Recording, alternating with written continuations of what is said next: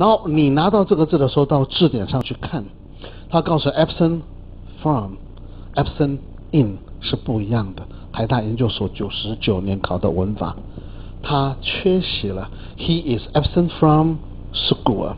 He is absent in school 是什么？他人来学校了，可是我们在学校找不到他，叫做 in。那这是其实不一样的意思。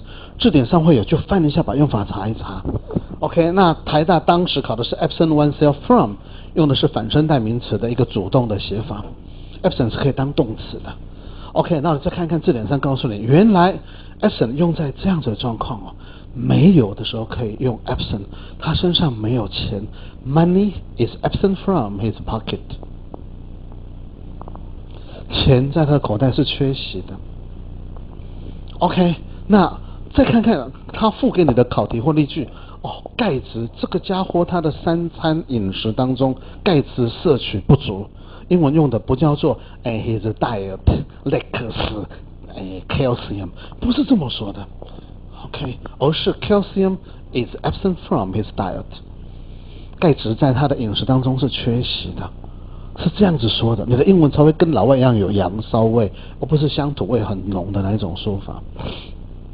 然后再看看它的例句，好，一个一个把它记下来。原来秃头也可以用这个字，对不对？hair 头发 is absent from his head，就过去了。你的句子会写得漂漂亮亮的，把它弄得清清楚楚的。弄清楚之后，来再看这 A B。OK，刚刚说的，它是 away 的意思，不的意思。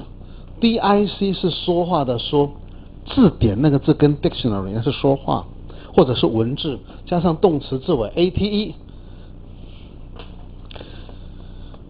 去年海大考的单字，abdicate 叫放弃。我不再说起这个东西了。我以前曾经是国王，我放弃国王的地位，abdicate my throne，我放弃了，不再提起我是国王这件事儿，叫做放弃，那是不的意思。然后再看 ob，ob 这个字来，我们写清楚一点，obliterate。来，A P E 是动词字尾，ob 是不的意思。